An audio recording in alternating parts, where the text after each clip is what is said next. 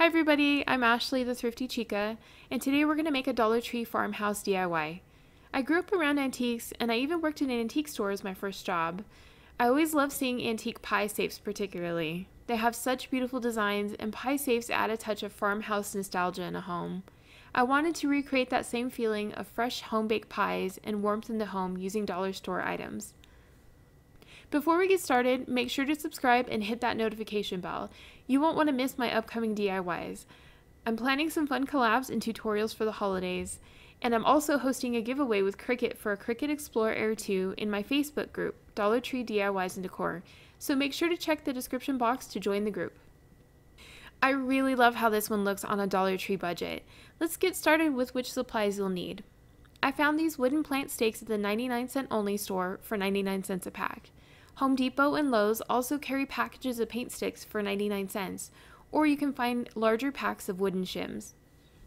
For this DIY, you're going to need two packages of cookie sheets from Dollar Tree. However, I would grab three just so you have an extra one to practice with.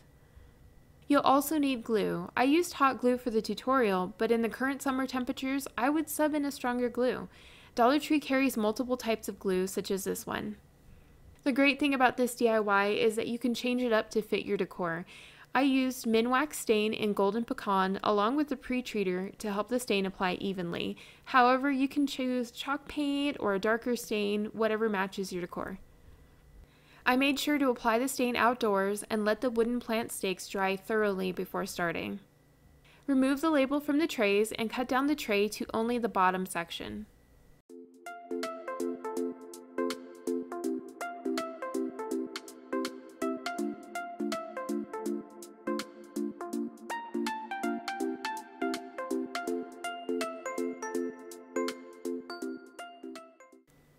We're going to cut the tray down to the textured part and use that as our measurement guide.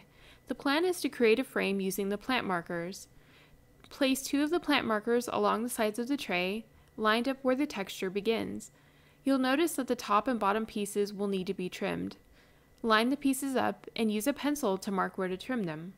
Since the plant markers are balsa wood, I trim them with heavy scissors. If you're using thicker materials, Dollar Tree also carries small saws. Line up your wooden pieces and glue them in place with either wood or craft glue. Let them dry completely before the next step.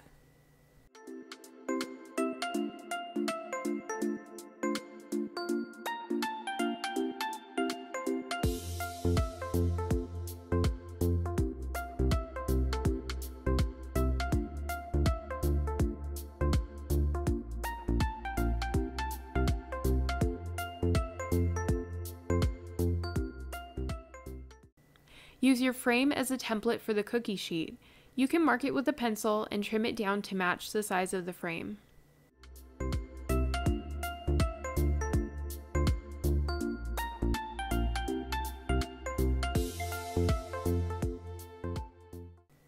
Trim the cookie sheet to fit, taking care not to scratch yourself on the tray.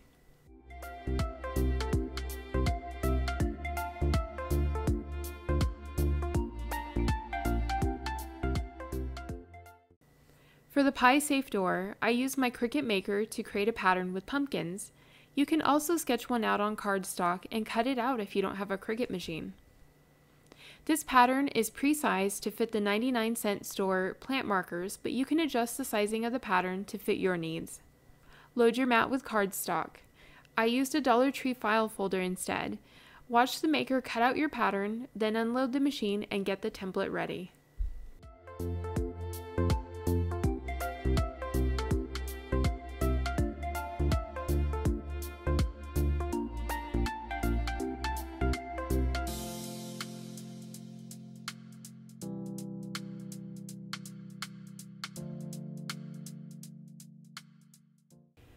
You'll need a towel folded underneath your project to pad your work surface. Take the diamond template and center it on the door panel. Tape it in place to secure it. We're going to recreate the look of punched tin by punching small holes through each of the trays. I'm using a 99 cent tool from Harbor Freight, but you can also use a ballpoint pen. Follow the outside of the pattern in small, regular dots. Then, work your way to the inside of the template and continue the process.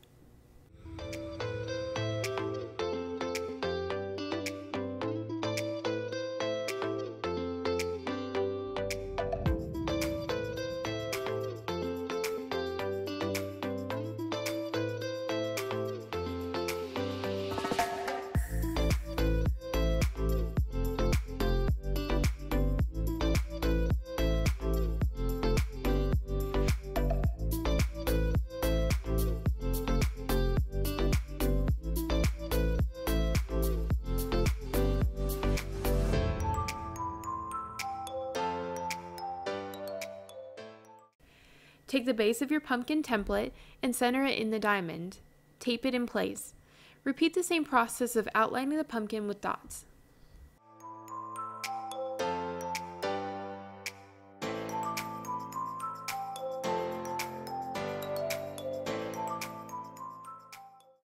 Once we remove the stencil, you can see the outline of the curves for the pumpkin.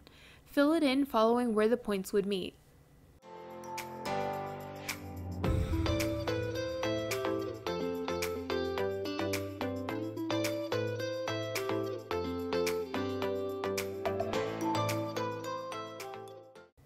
Next, outline the stem shape as closely as possible.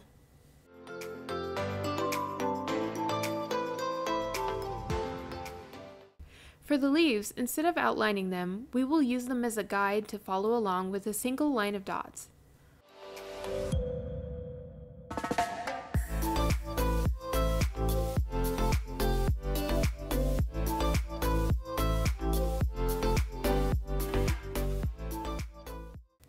Our final step is assembling the faux punch tin and the frames. Make sure that your frame is face down as well as your design. We want to glue completely around the edge of the frame. Repeat this for all four frames.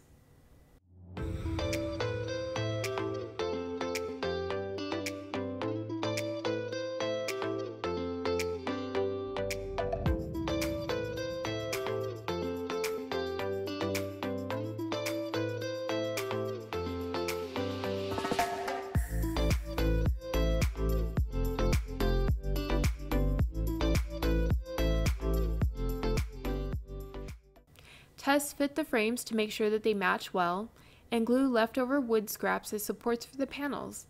We want one on the top, one on the middle, and one on the bottom of the frames.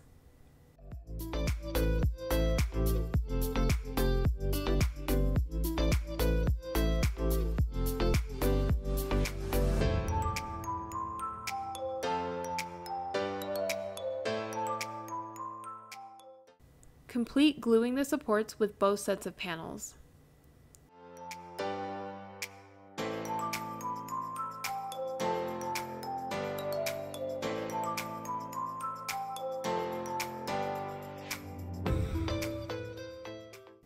Finally, we're going to glue the two larger panels together using the longest pieces of wood that are left.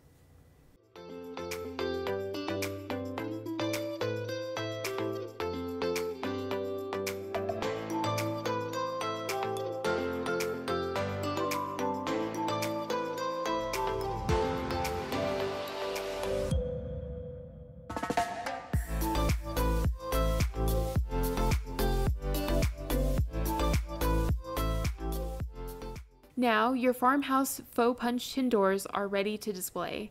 You could add a ribbon or a rope as a hanger, or simply display it on a table or a shelf. You could also alter this to just be a single panel or use it as a double panel. If you love the fall pumpkin sign, it's a Cricut design that I sized to fit a Dollar Tree frame. I used orange pearl paper and black, red, and bronze vinyl. The link to the Design Space DIY is in the description box if you'd like to make your own. The decor pictured here includes new fall Dollar Tree pumpkins, flowers, and candle holders. I hope you enjoyed this DIY. If you did, make sure to hit that notification bell for more DIYs. I'd love to see pictures of your versions on the forum as well. Make sure to check the link in the description box. Take care and have a great week.